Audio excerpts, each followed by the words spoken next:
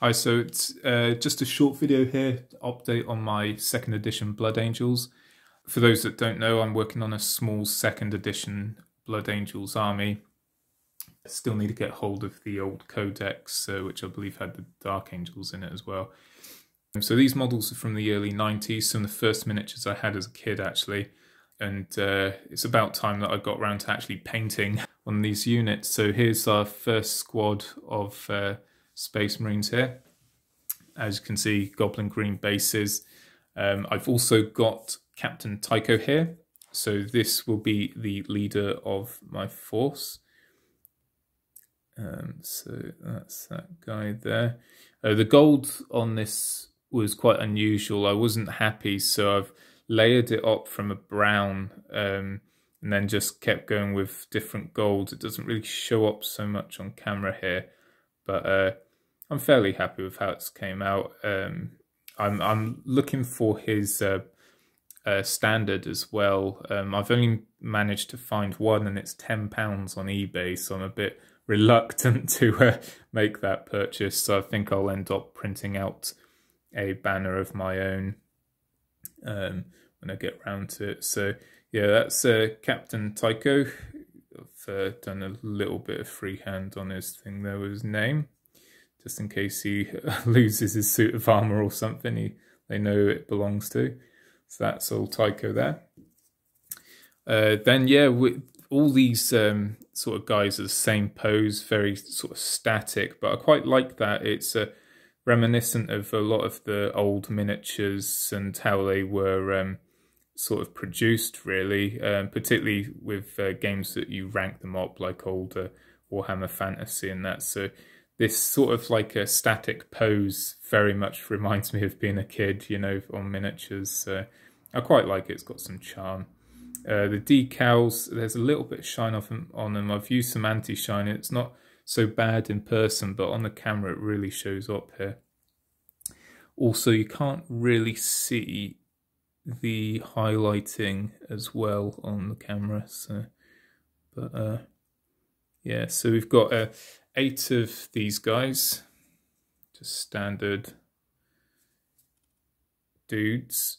I've gone for the uh, green lenses on the eyes there, and the yellow really stands out on uh, against the red. So we've got a flamethrower guy as well, so special uh, special weapons guy. Okay. Yeah, these aren't all that exciting to look at really. They're they're pretty much of the of the era. Here's the uh, sergeant again. I haven't got a uh, banner for this guy, um, so again I'll probably end up printing one out for him. He's got quite a gnarly face. Um, yeah, uh, quite an interesting looking character. I've gone for the hazard stripes as well on the chainsaw, give it that old school feel, and the flames on the on the greaves there. So I've not drilled out the barrels because uh, I think back then not many people did, so I just sort of painted um, painted them. Uh, so that's that dude. Then the only other different miniature here really is the um, uh, missile launcher guy. So the missile launcher is pretty bland actually. I might put a bit more colour onto that, but um, yeah, he's uh, pretty basic. So yeah, that's uh, that's basically it really. Squad of 10 uh, tactical marines uh, from the uh, original starter set, the second edition starter set, which I believe was the first sort of large starter set for Warhammer 40k. Actually, I also have, uh, which is one of my favourite models, which I didn't have um, back back in those days in my youth, but this was always one of my favourite Space Marine characters.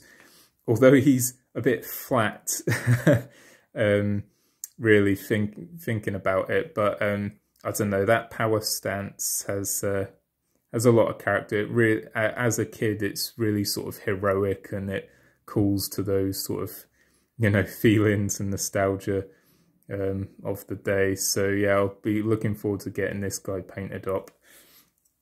Um, also, I've actually got a um, an old ork as well that I'm going to repaint. So this guy, although it's not too badly painted, it's using old um, old inks even and non-metallic metal and stuff because if I remember I didn't have any uh, metallic paints at the time but yes yeah, so it's actually not a bad paint job but I think I'll redo the skin there's a few chips on it you know so uh, and the checks aren't all that great I might have to redo those clean them up a bit but yeah um, that's him so there we go. That's a little update there on my Blood Angels. Um, and uh, yeah, I'll keep you posted on uh, on the progress as we go.